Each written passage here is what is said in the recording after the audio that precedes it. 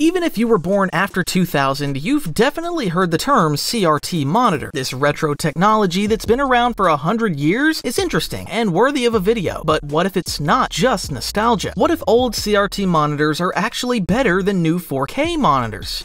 The guys from the Digital Foundry channel decided to test this. They grabbed a good CRT monitor with fast refresh and played some AAA games. Then they put out a 12 minute video where they were absolutely blown away by what they saw, saying the picture was smoother than smooth and more detailed than 4K. Yeah, right, I thought. Then I bought a CRT monitor, cursed everything while hauling 42 pounds up to my apartment, got tired of looking for adapters, and fired up Doom Eternal on it. And wow. Alright, let's figure out how this technology works and why old CRT monitors are better than new ones. Let's dive in. A CRT, a device that displays images, was patented in 1906 and is built around something called a cathode ray tube. What is this tube and how does it work? It's truly an amazing invention, folks. Picture a fragile glass vacuum tube with three electron guns at the base. These guns fire focused beams of electrons at the screen. When these electrons hit the back of the screen, that spot lights up because it's coated with a special substance called phosphor. The phosphor is three color, RGB, and each gun only fires at its own color color. But here's the key thing, using four magnets positioned around the tube, we can deflect the electron trajectory both vertically and horizontally. This lets us control the beam direction very precisely, but there's one beam and the screen is big, so CRT monitors form the image line by line, top to bottom, left to right. This happens 60, 90, or 200 times per second, depending on the screen's refresh rate. But here's the interesting part, our brain interprets this as a continuous full screen image, even though our eyes actually see a black screen with just one glowing dot racing across it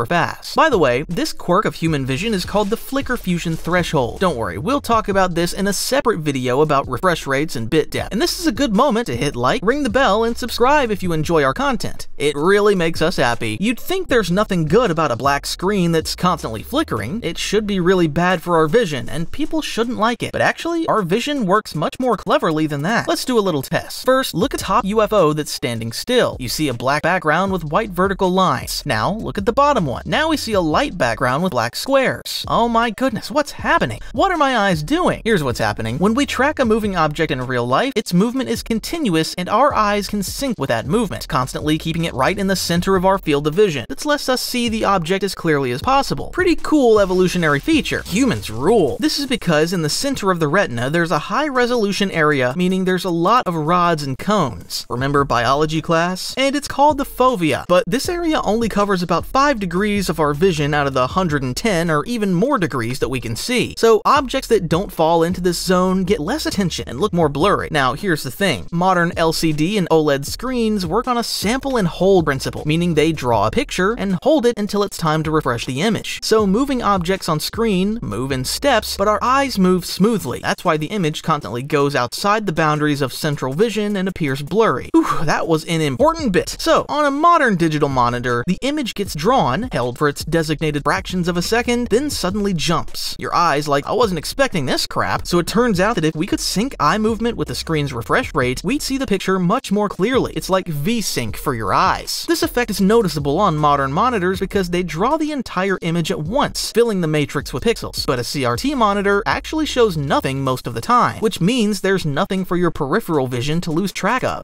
And as a result, we get a sharp picture without blur, and we see each frame at its maximum resolution resolution. That's why dynamic images on a CRT monitor at low resolution around 720p can appear sharper than on a modern monitor with a 4K display, or call it the sharpness effect, if you will. But the key point is this, the sharper the image, the easier it is to track, and the less your eyes will strain. So here's paradox. On one hand, flickering is harmful, but on the other hand, it turns out to be useful. And here we have this, wow, what a discovery moment. Good job. But actually, monitor and TV manufacturers have known about this effect for a long time. That's exactly why in gamer-oriented models you can often find a feature called BFI, or black frame insertion. The technology names fully reflect what they do. A black frame is added after each regular frame. This drops the image brightness, but picture becomes sharper. It's a pretty honest imitation of how CRT works. The picture flickers, but this isn't quite the same as PWM dimming. Which flickers at a frequency higher than the screen refresh rate. On TVs, this is typically 240 Hz, so you get several black frames per regular frame, and the image becomes sharper, but it also creates double images, which is even worse for your vision than blur. But BFI, the flickering matches the number of displayed frames, so nothing doubles up and your eyes strain less when tracking moving objects. Alright, so to get the same awesome experience on an LCD monitor as on a CRT, you need it to not have PWM dimming, still be able to turn on BFI. Sounds about right. But CRT monitors have another advantage, how they render images at native resolution. Today, we need 4K resolution monitors and powerful computers to drive them simply because we can see individual pixels. To hide this flaw in modern displays, they invented all these font smoothing technologies and anisotropic filtering and whatnot. And if, God forbid, you have to play at a resolution lower than the display's native resolution, the image becomes so bad that you want to quit gaming in computers forever. But CRT monitors don't have this flaw, because they render images organically, you could say, at the physics level. All the filtering and smoothing is built in at the design level. There are no angular pixels, just phosphor that gets excited by electrons. All I want in life is to find someone who would look at me the way phosphor looks at electrons. Anyway, without getting into details, the point is that thanks to this, on a CRT monitor, you can safely drop the resolution to boost frame rate and crank up the graphics settings. Thanks for watching, hope it was interesting. Please subscribe.